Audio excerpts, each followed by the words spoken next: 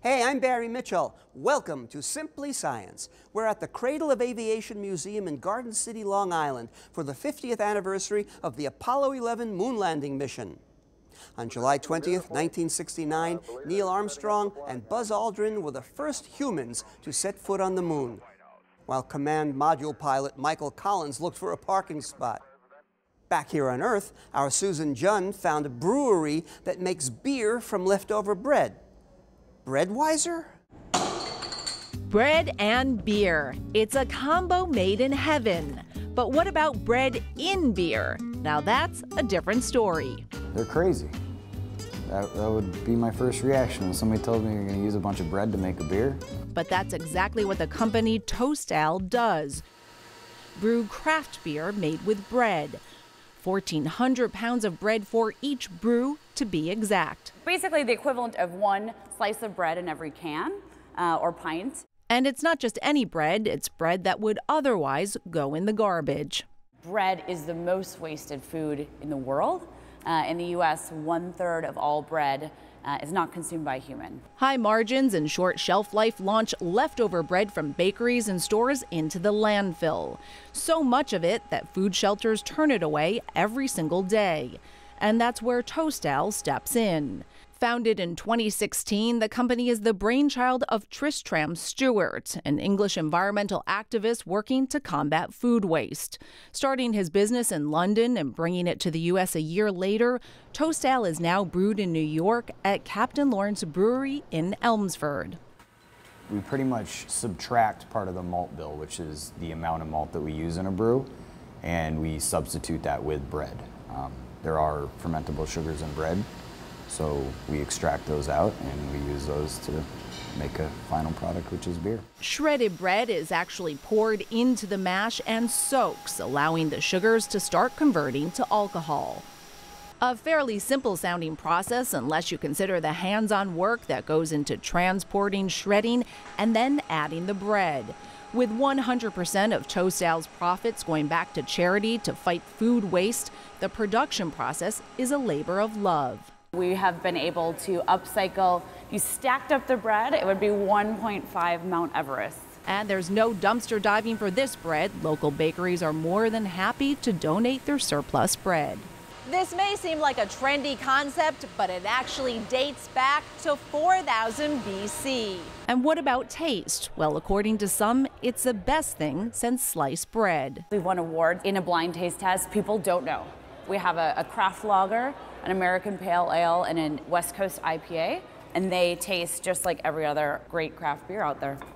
If you want to get in on the fight to reduce food waste by recycling bread into beer, Toast Ale encourages home brewers to check out their recipe at toastale.com. I'm Susan Jhun for Simply Science. The Billion Oyster Project is a citizen effort to rebuild the oyster reefs that once filled New York Harbor, protecting against storm surge, cleaning the water, and attracting other species. Donna Hanover has more. There were once 200,000 acres of oyster reefs in the waters of New York Harbor, and the Billion Oyster Project, based on Governor's Island, is trying to bring them back. Hatchery manager Rebecca Resner says oysters are ecosystem engineers, helping to attract many kinds of fish. They are a keystone species in our harbor. Baruch College assistant professor Stephen Gosnell says in the wild, oysters in their shells clump together. And as new babies make their own shells, the oyster reefs get bigger and bigger, which is valuable in many ways. They prevent erosion. They actually act as a wave break for storms that are coming in and help reduce those impacts. They help filter the water so the oysters feed by bringing the water in and they can cleanse the water that way. As they do that, they produce waste, and that waste actually acts like a fertilizer for sediment microbes. So these microbes that are in the sediment around them and in and on their shells can actually help remove nitrogen from the water column. So there's all these different things that they do, and that's why there's such an interest in restoring them here in New York. In its lab, the BOP creates the right conditions for oysters to have babies in tanks. They also collect oyster shells from restaurants, dry them out for about a year, and bag them to put in the tanks. Each baby attaches to a shell as an adoptive home, and then batches of them are installed in the harbor to start reefs that can then attract wild oysters. In addition, some oysters are kept in mesh bags connected to piers and measured often to find out what helps them grow. Scientists from Baruch College are part of the team so are high school students from the New York Harbor School, guided by aquaculture teacher Roy Arezzo. Well, you need to know two things the life cycle of the oyster, right? You're not going to put a brand new hatched out, born oyster larvae in the set tank, right? That's not a good idea. You also need to know the flow chart of the process of growing oysters alongside the BOP in this lab. Before coming to harbor school, I didn't really understand what diff uh, the difference an oyster could make, but now knowing that a, one teeny tiny oyster can filter 50 gallons of water a day each, then 1 billion could filter so many more. Look, we have a vast uh, reach of harbor, and I guess we have to start here and then we'll branch out. It's a big impact, especially in future generations. This is going to leave a mark, and it um, feels like I'm doing something important. BOP Executive Director Peter Malinowski says New Yorkers ate lots of oysters in earlier centuries. So they were consumed by rich and poor alike in New York City, sold from carts, and also packed into barrels, salted, and shipped all over the world. After we ate all the oysters, farmers actually imported seed oysters from points south in the Delaware Bay and the Chesapeake Bay and brought them up to plant on New York Harbor beds. And that worked until the completion of the aqueduct. And then New Yorkers had as much water as they wanted, and so they took as many showers and flushed as many toilets. And, it, and all of that wastewater went right out into the rivers. People started getting sick, and then by the early um, sort of 1900s, they closed all of the shellfish beds. The turnaround will take many years, but it is underway, and the Billion Oyster Project says they'd like your help. You can come to the island, sign up on our website, um, volunteer, and do many different kinds of tasks. We also have a citizen scientists program um, where people will have ORS cages, so oyster research stations, and they can take data and give it back to us. All along the eastern coast and into the Gulf of Mexico, there's restoration efforts. So there's definitely a nationwide and global interest in restoring these reefs. We've lost close to 80 or 90% of oyster reefs worldwide. So not just what's happening here in the city, we're not the only ones who have done this. It's been a common story. So there's definitely an interest in rebuilding those reefs on a global basis. I'm Donna Hanover for Simply Science. Last time I saw my dentist, he looked at my mouth and said, You've got the deepest cavity I've ever seen, ever seen, ever seen. I said, Well, you don't have to repeat yourself. He said, I didn't. That was an echo. Here's Ari Goldberg at the dentist. Going to the dentist isn't something most of us exactly look forward to. We all know we need to do it, but there are a ton of question marks around when it comes to oral care. Flossing versus mouthwash. Do whitening products really work? Is there really a difference between toothpastes? I went for a cleaning at the state of the art Columbia University College of Dental Medicine to set this all straight and learned why dental hygiene can have far more implications for your health than just bad breath and yellow teeth. First things first, let's clear up some terms here. So, plaque is just food buildup on the teeth. Usually, there's bacteria in there as well.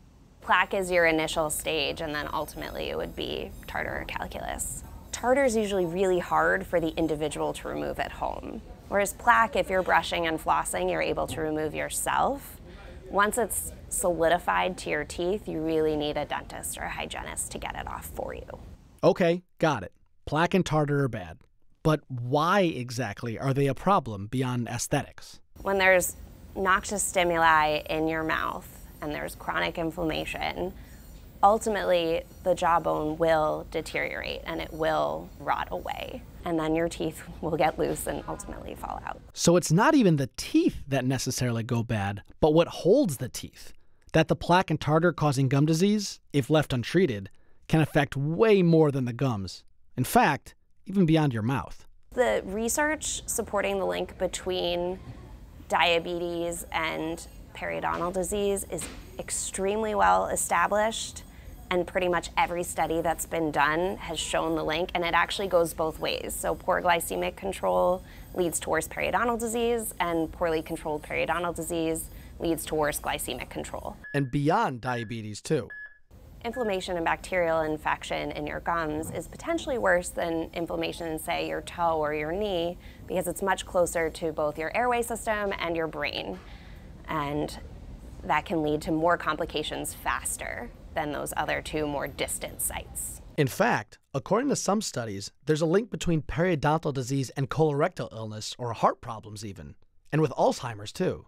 Now, none of this is to be alarmist or anything. Correlated doesn't mean caused, of course but it certainly makes this all seem much more important than just keeping your teeth looking pretty and white and free of cavities. So the question is then, what can we do better with at home?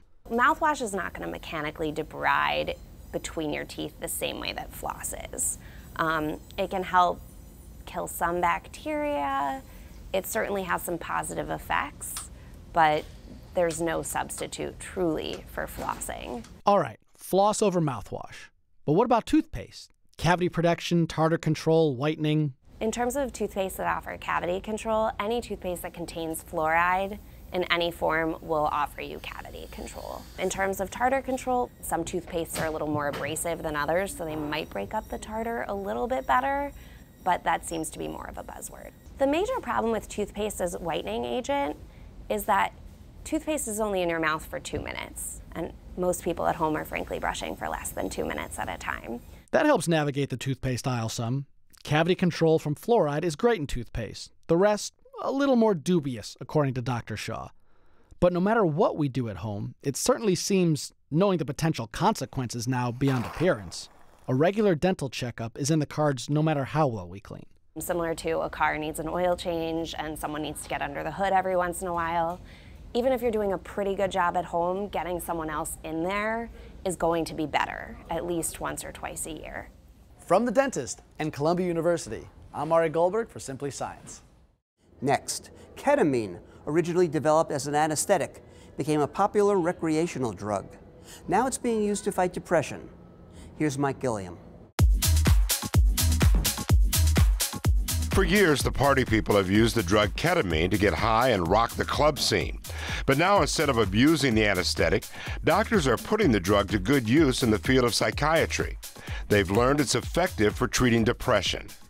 Very small doses of ketamine administered either intranasally or more often intravenously can have a very rapid impact on depression.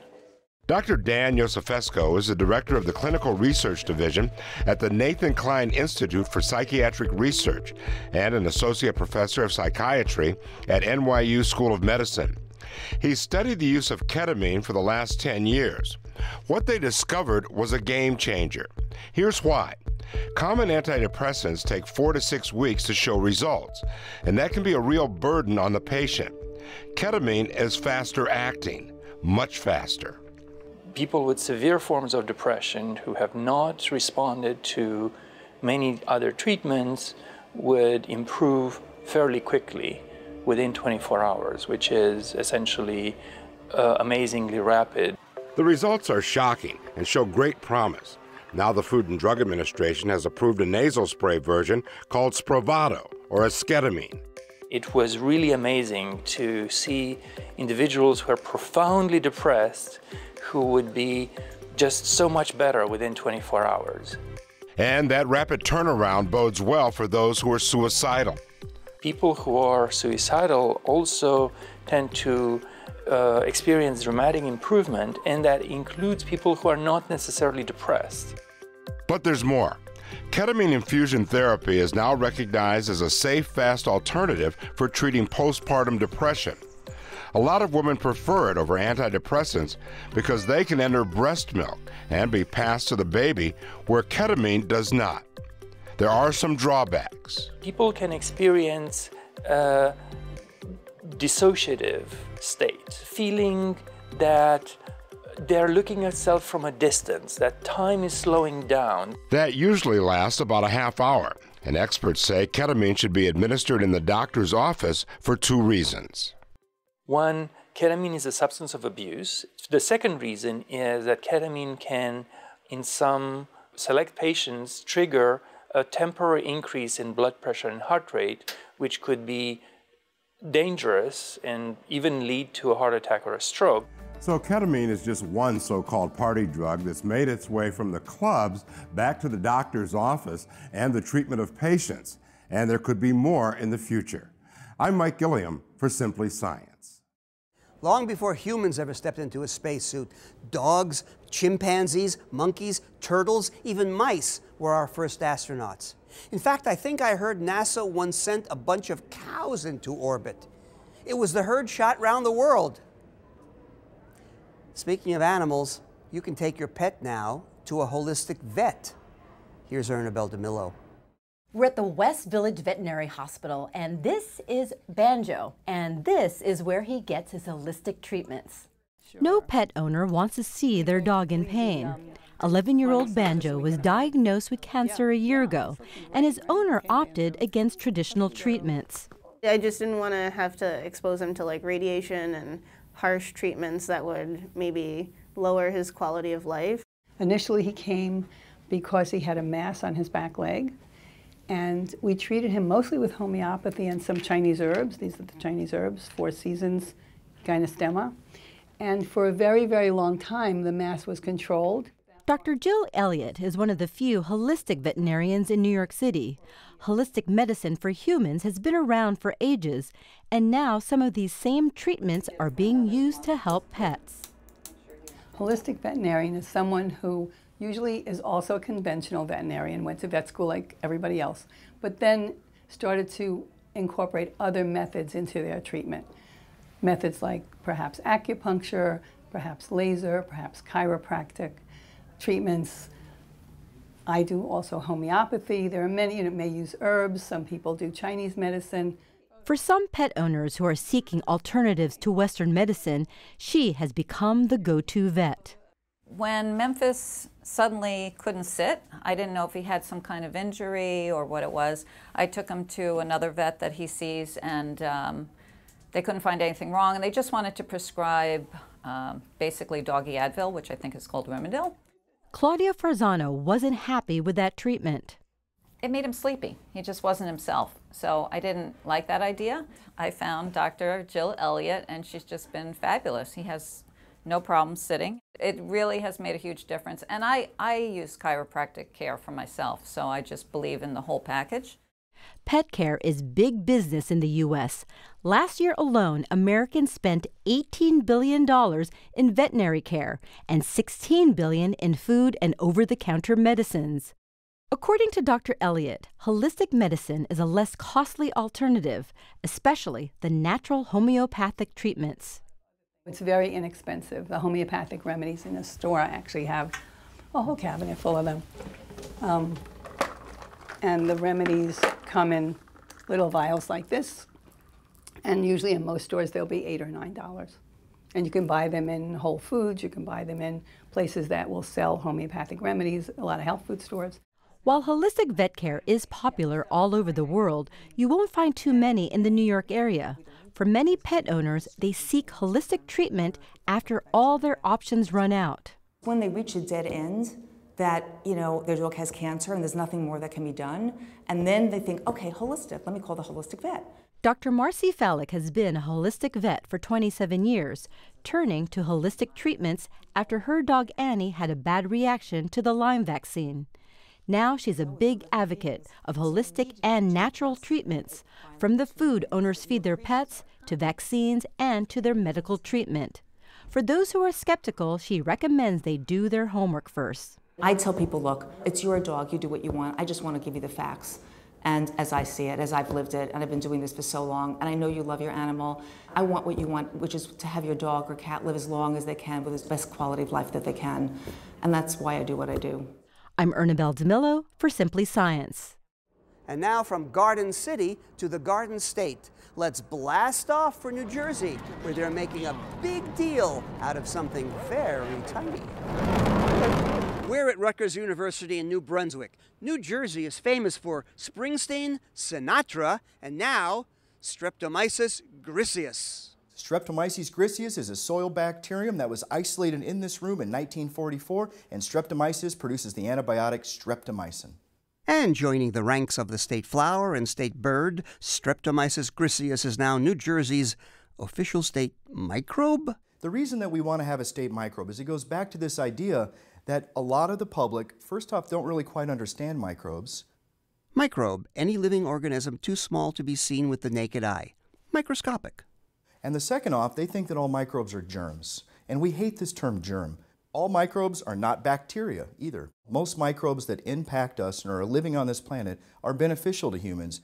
Like some types of lactobacillus used to make yogurt, wine, and pickles, and cyanobacteria that produce oxygen. So, this whole idea of that microbes is all bad is one of the things that kind of kickstarted Douglas Eveleigh to start this campaign. Dr. Eveleigh is a Rutgers microbiologist who dreamed of a state microbe a decade ago.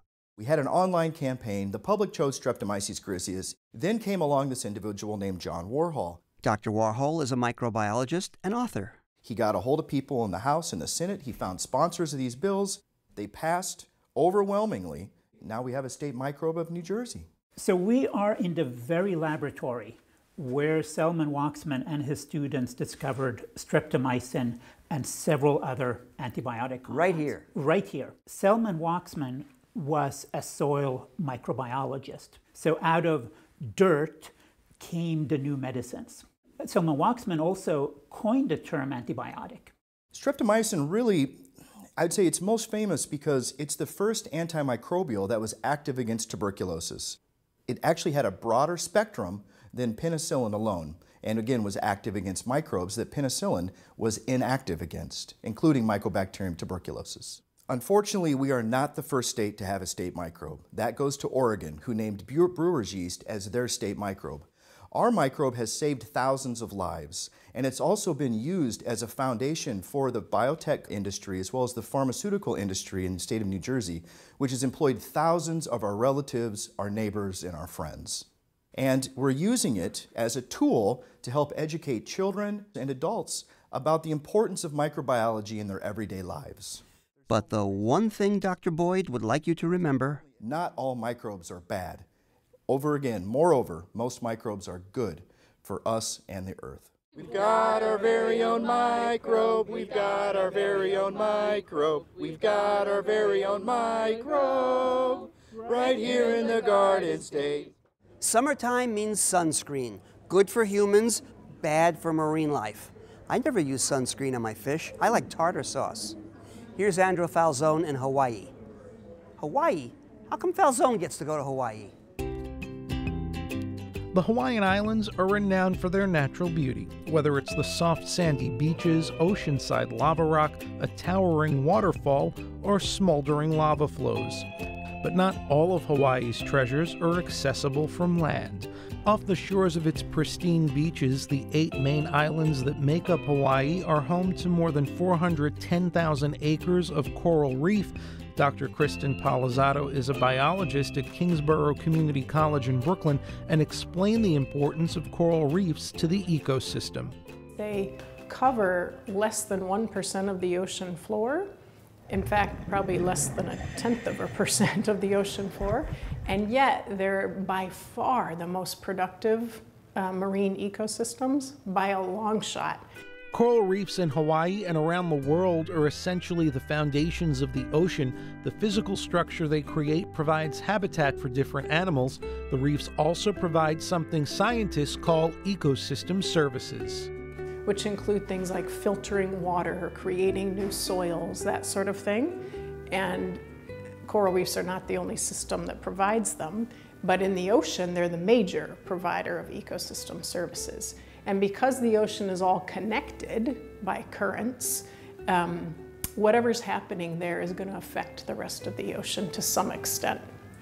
Researchers found two ingredients in most commercial sunscreens that are causing problems for coral. The chemicals are oxybenzone and octinoxate, and so as of 2021, sunscreens with those chemicals are banned from being sold or distributed in Hawaii.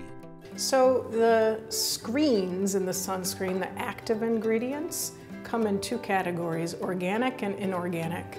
And the organic ones are these type they're talking about banning because they're organic can be biologically active. So if organisms are exposed to them or absorb them or both, it can interfere with their biology in a number of ways. Studies show that the banned chemicals can affect the reproductive and hormonal systems of corals as well as damage DNA. In fact, only a single drop of sunscreen can affect coral in an area the size of six Olympic swimming pools.